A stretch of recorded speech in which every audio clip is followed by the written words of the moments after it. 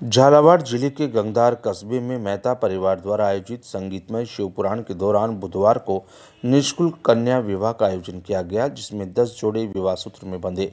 गंगधार कस्बे में छोटी काली सिंध नदी के तट पर स्थित पशुपतिनाथ मंदिर परिसर में शनिवार से सात दिवसीय शिवपुराण कथा का वाचन पंडित सुरेश शास्त्री रतलाम के मुखारबिंद से किया जा रहा है।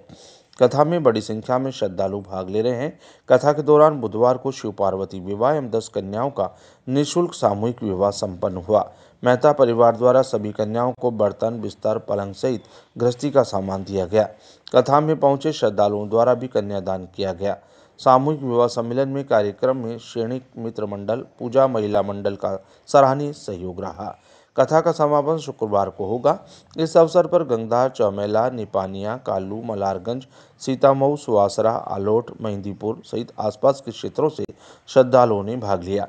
सामूहिक विवाह सम्मेलन को लेकर मेहता परिवार, चौमेला गंगधार इंदौर द्वारा काफ़ी समय से तैयारियाँ की जा रही थी।